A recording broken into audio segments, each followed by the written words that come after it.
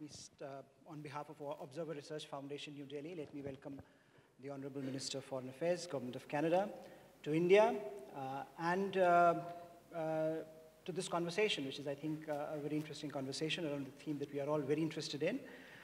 we are grateful that you could manage to wriggle out some time from a busy schedule to come and have this conversation with all of us. Uh, we are, I would also like to thank uh, a very distinguished audience today here who are very keen to hear you and hopefully um, uh, on, some of the larger issues of global governance, uh, women in peace and security, and also in India-Canada relations. Uh, we would like to keep it very interactive, um, and uh, the minister herself was insistent that she would make very brief remarks so that there is more of an interaction. and so please, um, we hope that to have a very significant amount interesting set of questions and answers later on, so keep your pens and papers ready. Uh, and with this, uh, let me formally introduce the minister. And, uh, and I was, you know, it's very impressive CV that she has. You name an institution that is at the top of the world, and she, that's in her resume, from Harvard, Oxford, Reuters, Financial Times, Washington Post, um, Economist, so it's very difficult to, uh, to figure out where to begin and where to end. But it's, uh, I think uh, it's one of those things that when you see a CV like that, you always get a bit startled that, you know, um, uh, what are we going to talk about? But I think I'm glad that we are, we are going to talk about um, an issue that pertains to some of the things that we are also doing at ORF. We are very interested in this, in this wider theme in which Canada has taken a leadership role uh, women, peace and security, the agenda that, that is being framed around this theme and that, that agenda that we have taken forward in our research at ORF as well. Uh, it was part of a panel uh, at the Raisina Dialogue that we host every year, the, the foremost geopolitical conference that India hosts uh, every January. And uh, so uh, about the minister herself, she uh, has been a member of parliament uh, since 2013 and in a remarkably short period of time, she has had two very heavy duty portfolios, international trade and now foreign affairs. Uh, and as, uh, as those of you who are following um, uh, in, uh, you know, India-Canada relations over the last few, few days, in fact, can, can see how challenging it can be at times. Um, it's not an easy job. Uh, and so therefore, I'm uh, extremely delighted to again welcome you, Madam Minister, uh, Chrystia, as, as, as, she insisted that I call her. and with that, very, very brief uh, intro in the context in which we are having this discussion. Of course, you are all well aware uh, that uh, uh the Canadian Prime Minister is visiting India, and uh, Chrystia is part of the delegation, of course. But I think India-Canada relations itself, we have seen a blossoming uh, of, of ties. They, they, seem to be poised to take off. Uh, Mr. Modi, uh, Indian Prime Minister, visited Canada in 2015, uh, and with the then Prime Minister of Canada laid out a very expansive roadmap of Indo-Canadian relations. Uh, there are, of course, if you're following the media these days, you know that there are some uh, problems, there are some wrinkles here and there. but I think with good, good diplomats like yourself, we are sure we are going to smooth and, and, go over them. And I think the larger context in which we are looking at the world perhaps is a very important aspect of the relationship. Two major democracies, looking at the rules-based global order, how can we work together in that context is perhaps uh, uh, an element of the theme that we are going to discuss today, which is uh, how do we view conflict and security, and how we uh, change our approach to conflict and security in a world where perhaps power relations, gender relations have tended to shape those uh, shape uh, global politics and global security in a certain way.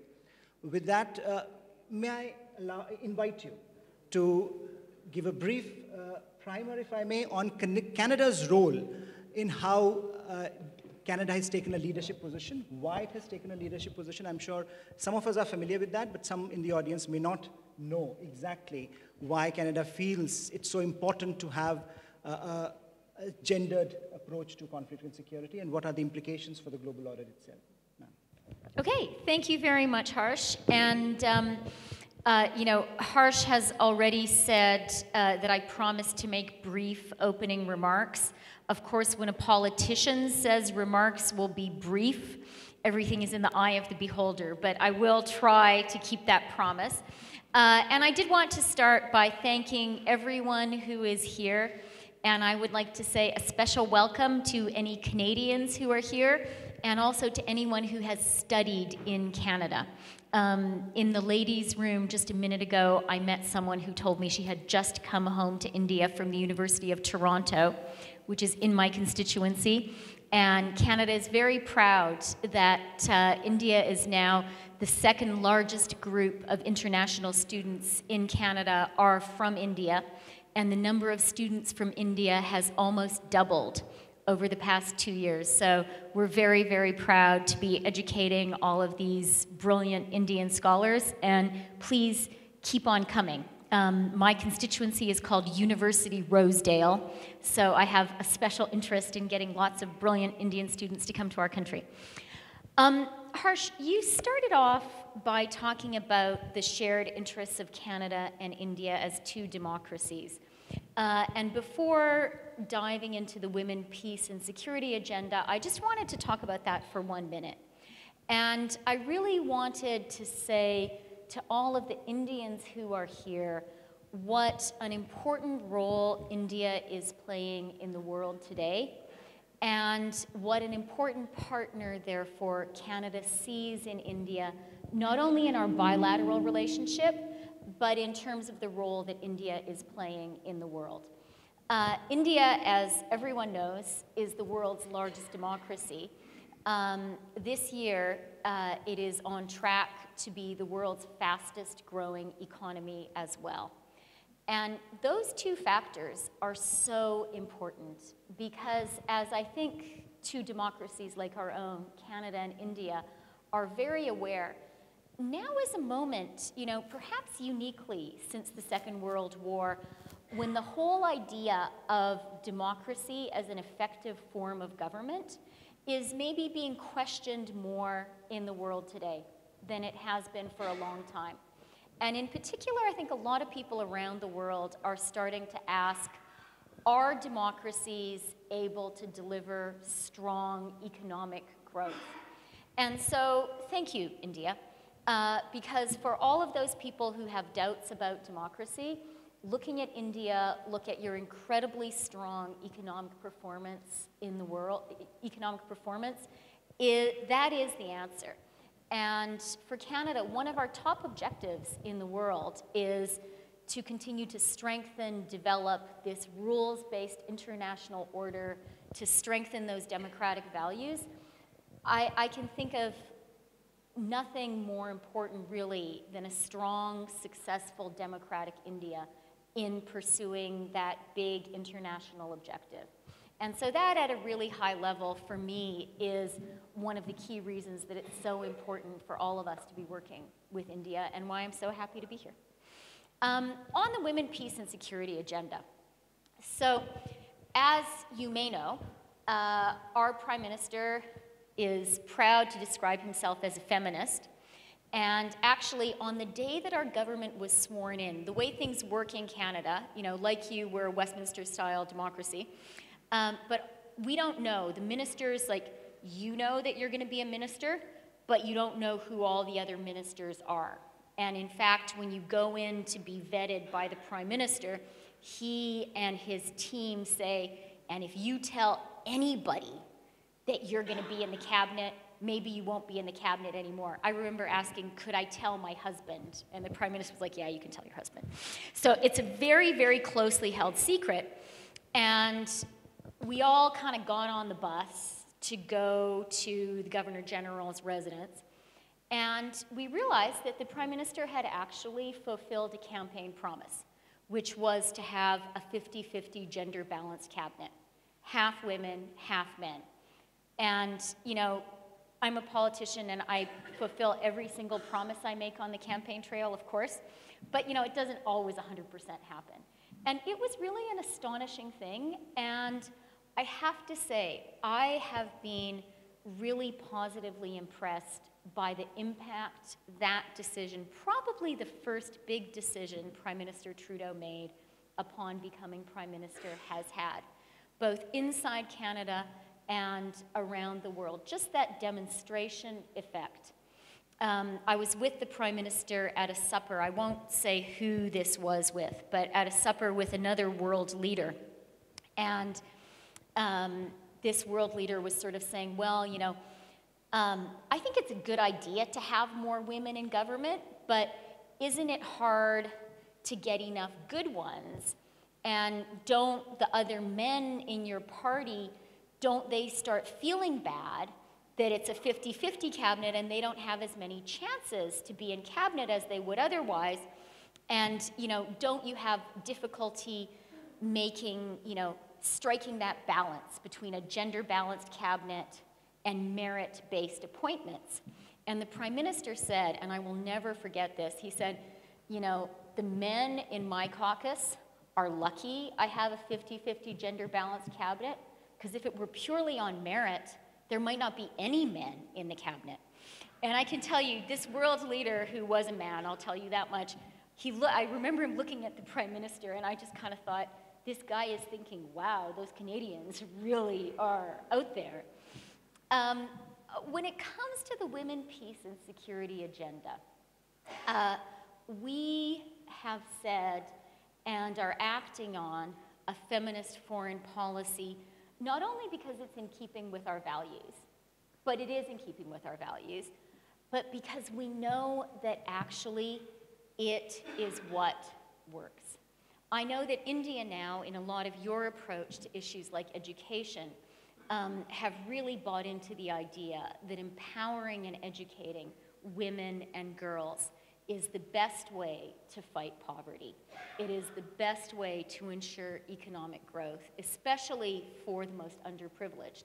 And that economic impact of empowering and educating women and girls is 100% a fact and a reality. But it's also the case when it comes to peace and security, which is a space where, until quite recently, we really haven't thought of a feminist agenda as being relevant. But the reality is, when you look at security issues, where you engage women and girls, you find that you have much more durable peace solutions and peacekeeping which is much more effective. And actually, I'm just I'm going to wrap up now, but I just want to wrap up by saying, and India has played a, a really leading role in this. Uh, I had a very good meeting, including a delicious lunch. I love Indian food. You guys are so lucky. Um, with your foreign minister, Sushma. And I talked to her about India's really pioneering efforts in UN peacekeeping in Liberia, where India had the all woman police unit.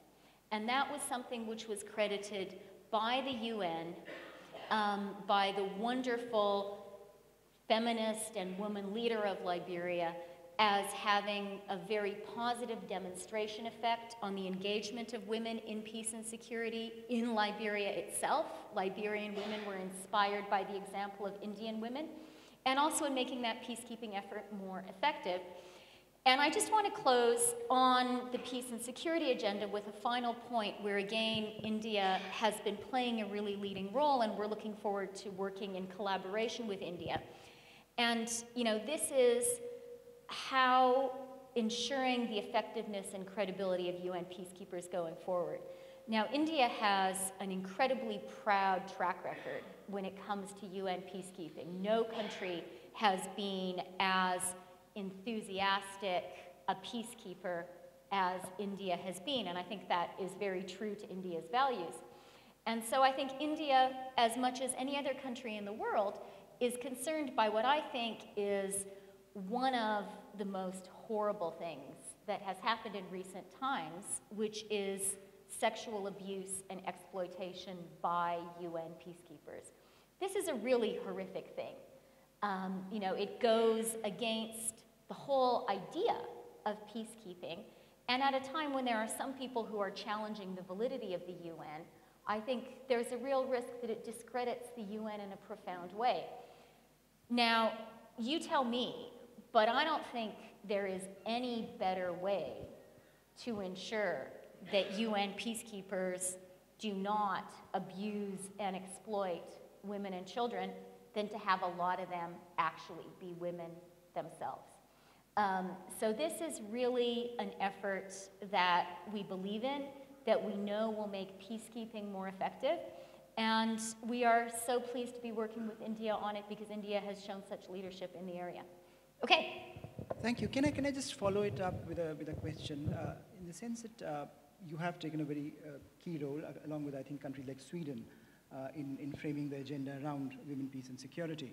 And I was wondering if you can talk to uh, some of the challenges that you encounter, because a large part of the world has a different point of view. And when you're working in a multilateral organization like the UN, where the idea is that all countries are sovereign, so everyone makes decisions based on their national interest, how do you move your foreign policy, how do you maneuver your foreign policy around some of the challenges that you face in your bilateral relations with individual countries?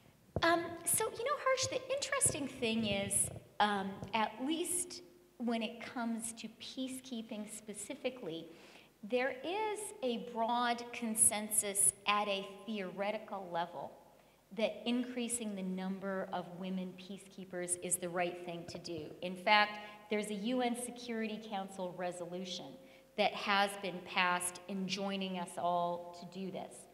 Um, so the theory, the rhetoric is there. Um, what is harder to do is to actually do it in practice.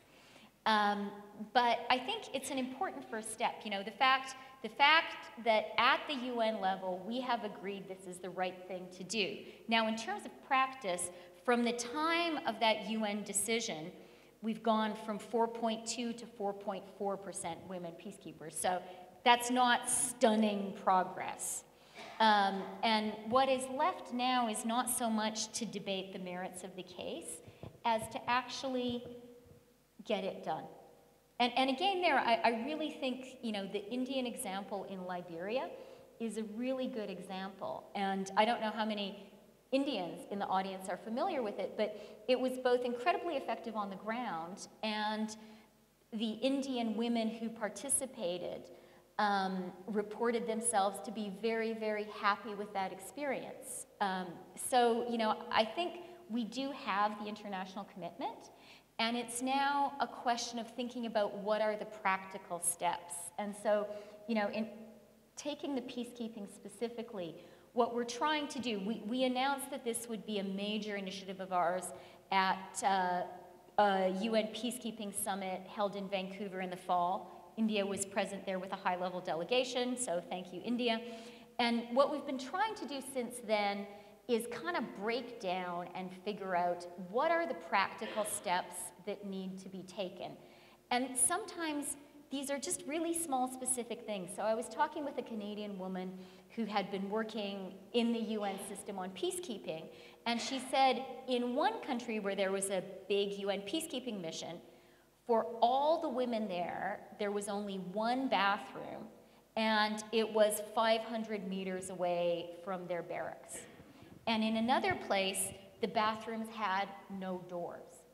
So these are not high level philosophical issues.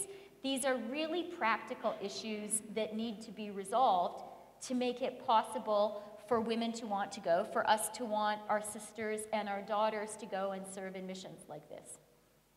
Um, yes, I think um, this is uh, the great point that you made about, um, about toilets because I, uh, Indian government has, has I can't believe we're talking about, about that, actually. Yes, no, but I think that's a, that's a really important issue for, from in the Indian context as well because we are looking at, uh, this, the government has invested a lot in terms of providing sanitation, proper sanitation to, uh, especially to girls. And, uh, and this is an area where India has not traditionally not done very well. And we are looking at uh, taking the, this discussion forward with some real policy impact on the ground. And I was wondering if, if there are discussions that you're having with your Indian counterparts. I mean, as you pointed out, uh, we have two very formidable uh, women ministers, both Minister of Foreign Affairs uh, in India and Minister of Defense, both are women. Uh, I was wondering if, if, uh, if this feminist aspect of, of the bilateral agenda uh, is, is something that you're also carrying forward with India in some respects. Are there conversations around, you, you talk about UN peacekeeping, but is there else, what, what else is happening on that front? Um, yeah, absolutely. I was going to make a joke and say, well, you guys don't know what women talk about when it's just the two of us in the room, right? Um, you can only imagine. Um, but uh, no, of course, I had uh, a really good meeting uh, today with Sushma, uh, your very impressive foreign minister. Um, one of the things I asked her about was how she manages social media because she has a truly astonishing social media following. And I, as a former journalist, used to think I was good at that, but um, there are a lot of things to be learned from her on that communications front. But one of the things we talked about uh, a lot uh, was women, peace, and security, and particularly the Indian experience and what there is to learn from that. Um, so, for sure, definitely an element. And I do um, want to mention also your defense minister, Nirmala, who I know from the time when we were both trade ministers. And she came and uh, met with me in Toronto. So, um, you are doing very well on women in senior posts in your government. Yes, I think these are baby steps we have taken, but I think they're very important ones because, as you point out, uh, to have women in those positions is very important um, for 50% of our population to at, at least aspire to. So, uh, you know, you have written a very interesting book on economic inequality, uh, very well regarded um, bestseller, but I think it makes some very pertinent points to the, to the kind of conversations we are having today about globalization, where globalization is going. Uh, I was, and I was wondering if you can talk about, uh, talk a bit about uh, that aspect of governance, because that is also impacting the sort of issues we are looking at uh, uh, in terms of women, peace, and security. How do you, how do, how, how does development, development as an issue impact women, and therefore structure the realities in which um, gender realities are constructed, masculinities are preferred, etc., etc. Okay, that's a lot of questions um, in a few sentences, but let me try to take them in turns. Um, and let me talk a little bit about rising income inequality, and particularly sort of um, a group that I talked about in my book as the global 1%, or the global 0.1%. And I should also say, thank you so much, Harsh, for mentioning my book. As anyone who has written a book knows, um, you sort of want to hug and kiss anyone who actually knows it exists. Um, so highly you. recommended. Please buy it. there you go. No, no, I wasn't. I wasn't. Uh, I wasn't asking for more. I was just saying thank you.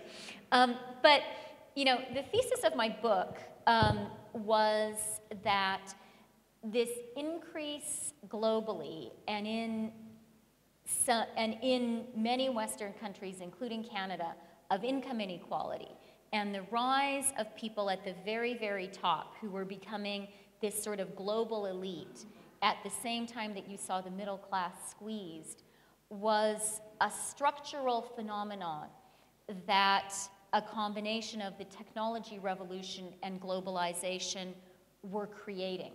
Um, that in some ways the economic forces of our time were driving this sort of new social distribution. And what I argued was that this new social distribution was, in the medium term, going to be very difficult for our democracies to tolerate. Uh, and a world in which you had a small group of people doing astonishingly, unbelievably well, while the people in the middle and at the bottom were being squeezed, was going to be a world where people would start saying, you know, hey, is this, you know, market democracy system really working for me? Um, and that concern of mine is really connected with the comment I made about India at the beginning. You know, I think we all need examples right now of market democracies that are delivering economic growth. And not only the headline figure of economic growth, but economic growth which is felt by people in the middle and the bottom of our societies to be improving their lives. It's not just about what is the GDP number, it's about are people in the middle and at the bottom actually feeling it happen to them and feeling their lives get better. And that is certainly a focus of our government, and I think it's a, it's a focus in India as well. And in fact, um, to give you a sense of how important this is, I met our future Prime Minister at the Toronto book launch of my book and it was a discussion of the ideas in that book um, that sort of caused him ultimately to get me to quit my job and run for parliament. And, you know, thank goodness it worked. Um, on where feminism comes in, um, in any society, a disproportionate number of the people who are poor and underprivileged are women and children. And so, if you can do something to educate women, you are going to be inevitably helping people who are in the most difficult circumstances and helping the children who are in those most difficult circumstances. And you know, very many studies have found that the more economic support you can target to mothers, the more of that support is going to go directly to the children rather than somewhere else. Now, I don't want to cast aspersions on the excellence of fathers. Um, my own father is a great guy, and my husband is a wonderful father to our three children. But, you know, this is what study after study has shown. So if you really want to get at poverty, and frankly, if you really want to drive economic growth, then really no dollar is better spent than the dollar which is spent on educating and empowering women and girls. And that's something that we believe in and are acting on at home in Canada. And it has also become sort of the driving force of our development policy. And I, I just want to add one more thing, um, which is in no way should that be seen to be a policy that leaves out men or boys. Um, when mothers are empowered and educated, the whole family and the whole community benefits. Daughters as well as sons benefit, and the men in the community benefit too. So this is really about looking for where you can have the most impact and where you can have the most leverage. Uh, yeah, so, so two important points here. One, uh, that ideas matter, and that those who write books also can aspire for bigger things in life. You know? Well, your High Commissioner to Canada is a renowned author as well, yes, Slumdog so Millionaire. So more power to the authors. Uh, and uh, so finally, before I open this up for discussion, uh, for, for Q&A, I think um, there is now uh, in top positions in, in, in, in, global diplomacy, very strong women in, in, in, major powers, in major world capitals. And when you talk of uh, feminization of global discourse on, on foreign policy, on security policy, do you practically, as, as, a, as an operational person, do you see a change? Uh, do, you, do you witness that uh, in your day-to-day conversations, in your day-to-day, -day, you know, the work that you do as a diplomat, given that th there is, the, the proportion of women uh, is increasing, it's not there yet, but, but it's, it's getting better. And especially at the top level, we are finding more women. I mean, there is a counter-argument that uh, having women does not really matter because ultimately the structures th that underlie the reality have shaped women to behave more like men. So I would, I would uh, just uh, would like to uh, get your sense as someone who is dealing with it on a day-to-day basis. How do you, how do you? Okay, well, I have so many comments on that. The first one is just Harsh to your last point, your kind of throwaway point about structures shaping women to behave more like men. I think it was Simone de Beauvoir who had, you know, one of my favorite comments from a feminist writer of all times, which is she says, whenever women act like humans, they're accused of acting like men. Um, and I think all the women in the audience will be able to sympathize with that at some level, right? Um, so let's be a little bit careful about that. Um, I also, by the way, think we need to be careful about assumptions that you know somehow women in leadership positions are innately biologically superior to men. Um, I know lots of brilliant women, and I know lots of mediocre women. And I know lots of brilliant men, and I know lots of mediocre men. And I know lots of women who are great, wonderful moral leaders, and I know lots of women who aren't that great. And same is true for men. And I certainly wouldn't claim on behalf of my gender some, um, you know, unique possession of human virtues. We're human. Um, but it is true that women, you know, have different experiences by virtue of our gender. And those experiences can shape how we interact and how we lead. And to give you an example of that, I'll tell you one story from our cabinet in Canada. So we have the first gender balanced cabinet in Canadian history.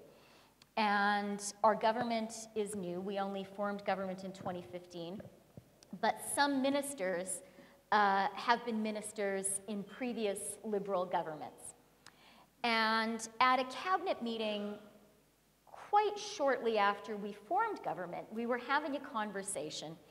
And I think it was the prime minister who, sort of out of curiosity, uh, because it was, you know, for our prime minister, his first time in cabinet was as prime minister.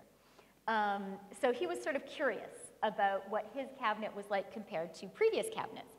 And he asked one of the ministers who had been a minister in a previous government, he said, So, you know, um, how does this cabinet compare to the previous cabinets you've served in? And this colleague of mine, and I was sitting next to him at the table, we were all sitting at different tables, and I was sitting next to him at the table as he said, he said, you know, Prime Minister, it's really interesting, but I would say the single biggest difference is more collegiality and more working together. In this cabinet, everybody seems to start with the idea that we all have a shared project and we want to work together to get there. And in the previous cabinets I've been in, it was all about fighting and rivalry and each one of us trying to show we were the smartest and trying to cut down the other guy and so on. And um, then this colleague of mine, who was a man, uh, said, and you know, I just don't understand why the atmosphere and the culture is so different. And I was sitting next to him and I said, you know, could be half of us are women around the table. So that's just one very specific, um, you know, anecdote is not evidence. I'm sure there are lots of social scientists here who feel that very strongly, and I agree with you. But that is just one specific anecdote from Canadian political life of a difference uh, that having more women at the table has made. Thank you. I think I would, uh, you know, I would open it up. But before I open it up, can you briefly speak about uh, India-Canada relations and where they stand today? Because I think there, lot, there will be a lot of interest in the audience in, in hearing from you directly about a few salient aspects of the relationship and, and where do you see them going? For sure. Um, so I, I, I started off a little bit on that point, and you know, my starting point in talking about the relationship between India and Canada is to talk about the shared work we can do on multilateral issues. Uh, I think we would all agree that the world today is more in flux, that that international order and those international institutions, um, which had been around for more than 70 years, are being called into question in ways that they haven't been for a long time. And I think in this moment of flux, uh, there are a lot of values and objectives that Canada and India have in common that we need to be making common cause and working on together. And I'll give you a few examples. So we were very pleased that India sent a high-level delegation to our UN peacekeeping summit that we held in Vancouver last, last November. Uh, India, as I say, has an incredibly proud and effective history in UN peacekeeping. It's something that Canada is committed to too. As we all know, there are lots of voices in the world that are challenging the effectiveness of the UN. I think now is a moment for all of us who believe in the UN, who believe in peacekeeping, to say, okay, how do we reform and improve and bring into the 21st century this great institution. And that's a place where India and Canada can work together. I was actually, I met just before this meeting with your Commerce Minister, um, who is convening a mini ministerial to talk about ways forward for the WTO. Uh, and that is a project that Canada also very strongly supports the idea of how we move the WTO, the rules-based international trading system, into the 21st century, I think is another very shared Canadian-Indian you know, agenda and something for us to work on. Um, we had in January, I co-chaired with Secretary Rex Tillerson a meeting on peace and security on the Korean Peninsula, also in Vancouver. And your High Commissioner and Indian delegation was there as well. So there are a lot of troubled places in the world. The Korean Peninsula, Myanmar, to take just a few examples, where there is real scope and opportunity for Canada and India to work together. Um, I think you mentioned that I have been trade minister before, um, and I loved being trade minister. The great thing about being trade minister is you focus on very specific, practical things. You never have to ask yourself, you know, what did I do today? Uh, and I think the economic relationship between Canada and India is on a good footing today, but I think that there is a lot more that we can do. There is significant investment going in both directions, and I think we can do a lot more.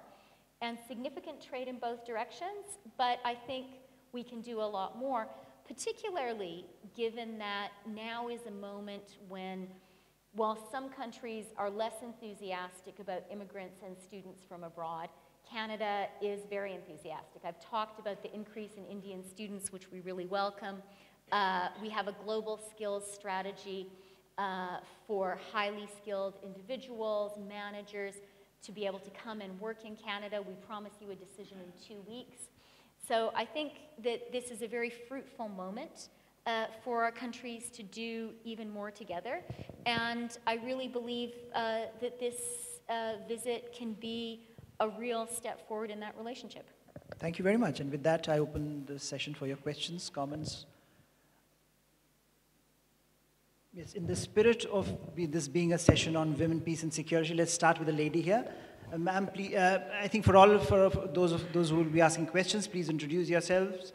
Uh, keep questions short and to the point. Thank you. Yeah, thanks.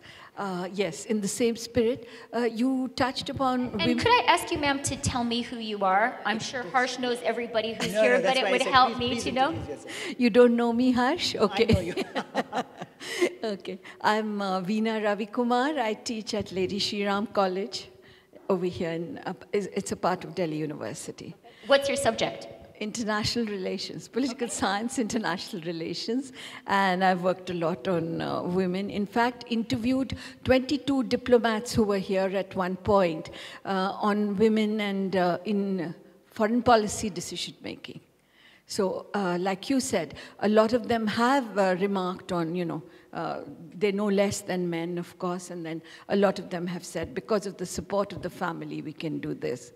But my question to you was, in women in security, apart from the UN, which is a larger one, have you dealt with uh, any other cases in uh, security and peacekeeping? Not peacekeeping, sorry, security issues uh, for women uh, within, say, Canada and some other nation, in which you have participated and, you know, done the dialoguing or some kind of a thing which has been a major rift and uh, you, you've been a part of that?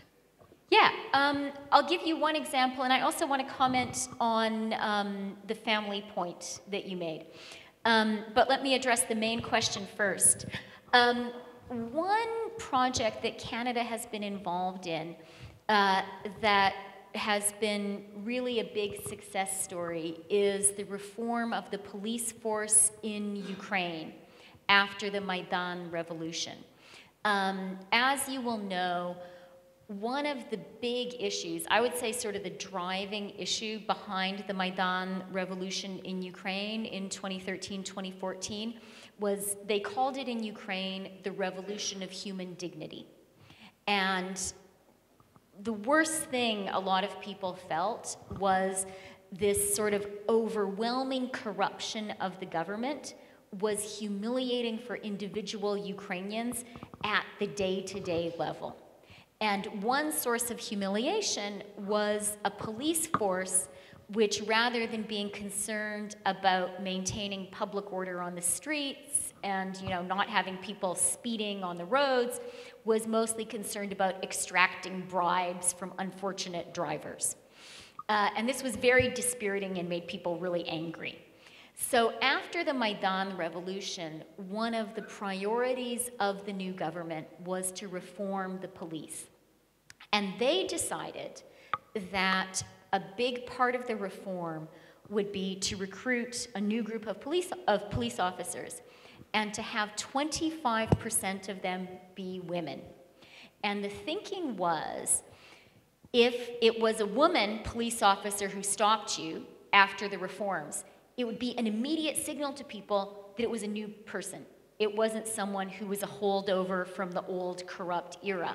Because it turned out, you know, the Ukrainian mafia kind of groups, they were sexist also, and they didn't really have women involved. So if a woman police officer stopped you, you knew she wasn't corrupt. It gave citizens very great confidence And having that 25% level had a very strong impact on the culture of the whole new police force. And I would say that reform of the police has been one of the most successful reforms in Ukraine. Canada was very proud to play a supporting role. We had RCMP officers and police officers from Canada in Ukraine helping with the training, helping with the reforms. And we happened to have a brilliant policewoman from Montreal who was of Ukrainian Canadian descent, so she spoke Ukrainian. And she was one of the top advisors and architects of this transformation. And I was actually, I was in Ukraine on December 22nd and met with the, some of the leaders of the new police force. And they talked about how effective the reform had been. Obviously, the anti corruption reform of the police wasn't only about having 25% women. And the interesting point part is the Ukrainians didn't decide to do it this way because they had a feminist agenda. They decided to do it this way because they had an anti corruption agenda. And they found that having 25% women was an effective way of doing that. Um, but I do want to say one quick thing about your point about women and the support of their families. And this is something that I like to say when I'm in Canada too. Um, I see a number of young women in the room here. And one thing that I feel very strongly about is a very important message to send to young women is that you shouldn't feel you need to choose between having a family and having a leadership role in your public life. Um, I have three children myself. Um, like those diplomats you've interviewed, it takes my family to allow me to do my job and have my three kids, in particular, two of my aunts, uh, take care of my children when I'm traveling. But I really feel one very bad message that we sometimes send to young women is that you have to choose. And I personally, nothing is more important to me in my life than being a mother. Um, I love Canadians. I serve my constituents with great passion and pleasure, but at the end of the day, my kids are the single most important thing. And I think it's really important for young women to feel that they can be human beings and women and mothers, uh, as well as having a public life if that's the choice that they make. So, to the young women here, go for it, girls. Go for it, ladies. Yes, sir.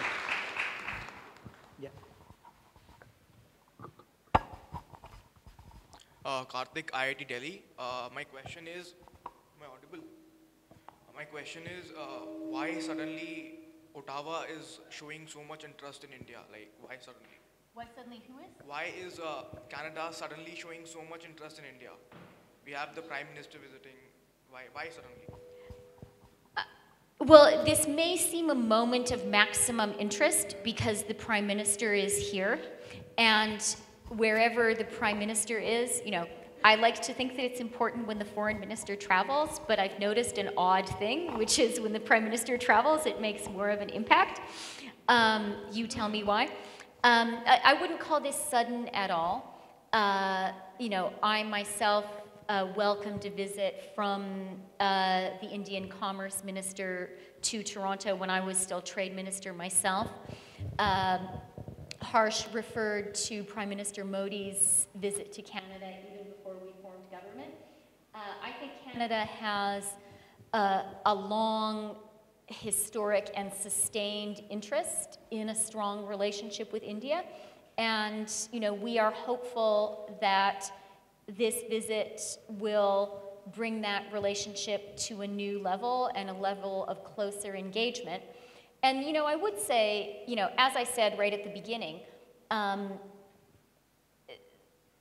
the fact India is occupying a particular and very important role in the world, not only as the largest democracy, which India has been for some time, but as the fastest growing economy at the same moment. Um, that's significant, and I think it means the whole world is going to be paying a lot of attention to India.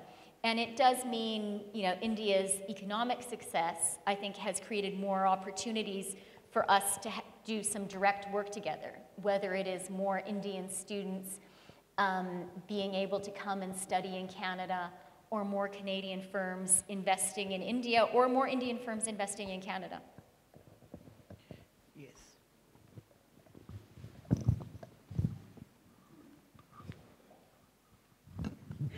Um, Ms. Freeland, my name is Suhasini Haidar. I'm a journalist with the Hindu newspaper. I wanted to ask you about a security issue that does uh, uh, cause, if possible, the largest rift between India and Canada today, and that is the issue of Khalistani separatism. Uh, in the past year, we have seen uh, matters come to an head. Uh, to begin with, with the Ontario legislature passing a resolution that accused India of genocide. Um, after that, Prime Minister Trudeau took part in a rally that uh, glorified separatist militants and terrorists from India, um, but also uh, saw many uh, slogans and banners for what is called Referendum 2020, for a separate Sikh uh, homeland to be, uh, to be apparently voted for. Uh, my question is, in your conversation with Ms. Swaraj this morning, did this issue come up, and how did it come up? and also, yesterday made the statement that his government would not support separatism uh, against India. What is the specific assurances that you would give on that? Um, well, thank you for the question. And as a former journalist, uh, it's always especially nice to have journalists in the room. Um, and let me say a couple of things about that. You know, let me start by saying, as I think the Prime Minister has said on a number of occasions, you know, both at home and on this trip, the, the foreign policy of the government of Canada is to support a strong and united India. Uh, we are very clear about that. Uh, and as I think people in India know, we ourselves are familiar with separatist challenges at home, uh, both historically, and there are people in Canada who advocate for uh, separatism inside our own country. So we are familiar with the challenge, and our own party is a federalist party that also believes in a united federal Canada. We are also very clear in our condemnation of terrorism of all forms. And what we know in Canada is that terrorism can come from many different communities. Um, our most recent experience in Canada has been of, of, of violent, fatal terrorism, uh, has been from a white supremacist Christian roots. So I'm Christian myself. Um, and so, you know, what, what we know in our own diverse pluralist society is terrorism wherever it comes from, and we know it can come from many different places, is a threat to us all. And that is something that all of us, I would say particularly all democracies, need to be united in condemning, and that Canada is very clear in it, uh, uh, in, and Canada is very clear in its condemnation of that. Uh, we did, I did uh, discuss the issue uh, with the foreign minister, and I will leave it to her to comment on, um, you know, her impressions of the conversation. Um, but I felt that it was a very constructive and useful discussion that we had. And then just finally, I'd like to say one more thing about Canada. Um, India rightly prouds itself on being a successful, pluralist, diverse democracy. In Canada, we pride ourselves on that as well. Um, we are a diverse society. Uh, we are proud to say that our diversity is our strength. Uh, really, really proud of that. We think that that, especially in the world today, is one of the things that makes Canada very distinctive um, that we welcome people from around the world to our country and we welcome Canadians from all backgrounds. And we understand that terrorism can come from all communities and must be condemned by all. And we also welcome the contribution of Canadians from all communities to our own diverse society. Very much including the community of Canadians who trace their roots back to India. It's about 1.4 million Canadians who have that kind of a connection. Um, that includes, as you guys know, um, India is a broad and diverse society, so it includes Canadians who trace their roots to all sorts of Indian backgrounds. We're very proud that our High Commissioner can speak in Gujarati to your Prime Minister. We think he is the only High Commissioner or Ambassador who can do that, and that's quite a unique Canadian moment. Um, and one of the, one of the communities uh, that is significant in Canada that traces its roots to India is the Sikh community, which also contributes very much to our country.